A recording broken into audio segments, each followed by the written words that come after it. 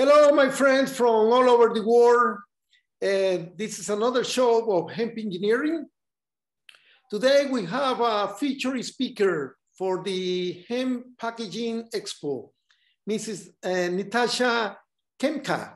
She's originally, yes, she's originally from India. She resides in Nepal. She has a long uh, experience and dedication to this plant.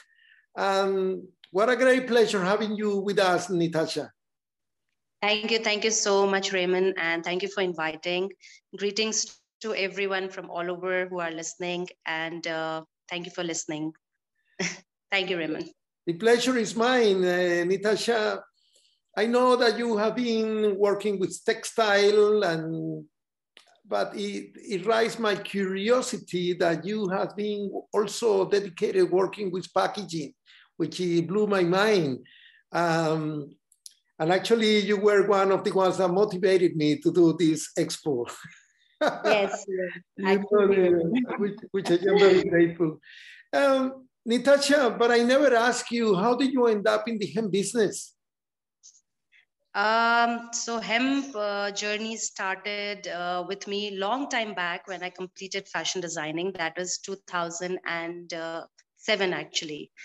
But then uh, that time the accessibility for normal people like designers, we didn't have that uh, option, natural fibers kind of thing. But then uh, in 2017, uh, my my personal interest for hemp and natural fibers as it is for Nepal industry because potential of hemp in Nepal is very, very, uh, very high. It is like uh, the history goes back like 25 years we have been working on hemp. So uh, there are sectors in Nepal like uh, Far West Nepal region that hand spinning yarns are done, fabrics are made, and we have been exporting since 25 years what not uh, other countries were also i guess not doing by then so uh, my interest was okay the potential of strength i have to tap it and i want to work on it because i know the wonder of this plant actually like you know what it can do. And you also like Ramon you know how it is like wonderful. So that's how we connected as well. So that's why uh, i was like okay let's um, let's tap it to the India market first because Nepal is already there, and uh, the exposure to different country would bring something to my country as well, my community as well, actually. So I went to the untapped market, which was Nepal, India that time, 2018, and then I started showing people about what we can do with hemp uh, fabrics, like you know what fabrics we have, bamboo fabrics and hemp blends, and uh, uh the bags that we make, the fabrics that we make so that's how my journey started and that's how i started working with basically it's a passion project for my uh, for my community for my farmers for nepal basically and for the plant actually what it can do like you know it can just shut down 25000 industry i guess like if just hemp is alive actually everywhere. So yeah i'm doing my part as in i am uh, just bringing the change from my side.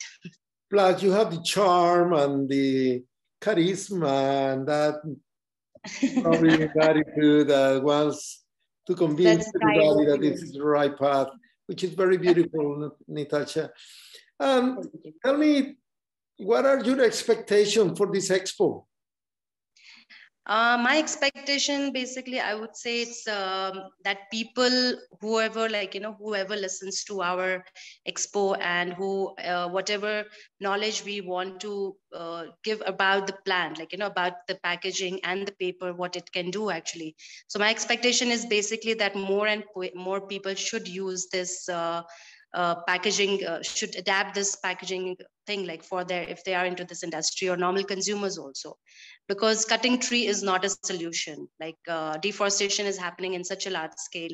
And we are the one who can save earth. We can save because the earth already exists. This planet already exists. We came and we invaded earth actually. We humans did that you know. So we have to save it. We have to we are the one who has to bring uh, keep it intact in our way so my expectation is that more and more people use this paper like you know and uh, for packaging or, or, for any purpose replace uh, the uh, tree uh, the papers cut out from tree and uh, the benefits what from uh, this plant we take out the papers and how we make it kind of thing three uh, three times a year we can harvest it and more papers we can the number i want more and more people to use hemp so that the uh, demand is more than the supply is more. So my expectation is more people listening to it and more people adapting to this actually, so that I can give the message to the, at least to some people and then they can adapt that at least. And Nitasha, um, what sort of um, process do you use? You do you do your own pulp? Um, you do your own paper, or do well, what is behind the scene in your case?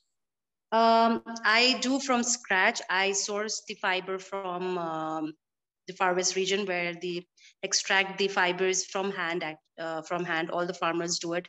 So my uh, so I work directly with the farmers as my with the fabric also the same thing. Uh, I work directly with the farmers actually. So uh, I uh, we convert it into pulp, and are, we have our own community of people, uh, women sector people, social enterprises are here. Like you know, so we closely work with them and uh, in fact, for hemp paper, we did a research for, in Nepal. There was no hemp paper till the time me and my team came up. Uh, so we have, I have a, a, team as well. I have a business partner as well who are already working with uh, sustainable papers, that is elephant poop papers and all. And Nepal excels in making handmade made papers. It's the third largest export from Nepal. So we already excel in making hand, handmade papers. Uh, in Japan, our papers are are, are like exported since 25 years. That is Lokta paper from the plant of Lokta. So uh, that's how we excel in that. And hemp was something that uh, it was not easy to make. So we did an R&D for one year during the lockdown period. It was my dream project to work on this. So we were very stubborn about it. And uh, we did that uh, and we, we took time, but we wanted the result because we knew it will come out and we have everything so we have to do it kind of thing so me and my team and my community people were like a team are a team doing it and we are doing it from scratch and that uh, perseverance or stubbornness is what brought us yeah. to make this uh, which is fantastic and i must be uh, i must tell you nitasha how grateful i am uh, for your persistence and and your encouragement not to you know, we were ready to say, mm, I'm not to do it. And you say, no, Ramon, let's do it. yeah, yeah, actually, yeah, actually, uh, yeah, uh, we are grateful for you as well, Ramon. Like, you know, uh, like people like you in the industry, like, you know, and giving us a platform like who are like so much into it and we have the same passion and uh, uh, we work towards the same goal kind of thing. We have the same same agenda same goal same aim to let people know about the wonder of this plant. And uh, grateful to you as well that you organize such events and as many people you want to like you know we can pass the message from our side uh, we do it and you are the main uh, key for that as well to organize such platforms as well. Thank you to you as well. I am grateful that you just come and and those beautiful words, uh, Nitasha. Thank you for your time. I'll see you the 11th of June. And yes, and I request everyone, yeah, to listen, come know about the paper packaging thing of hemp from hemp, and I would like many speakers to come and listen to it. It's a free registration, so people should like you know be at least motivated to listen to it that at least um, to, maybe we can just bring something change in like you know in the perspective of why why to use hemp kind of thing hemp papers kind of. Agree with you. Yeah. Love and peace my friend. Thank you very much. Thank you. Thank you ramon namaste. Namaste. Namaste. Thank you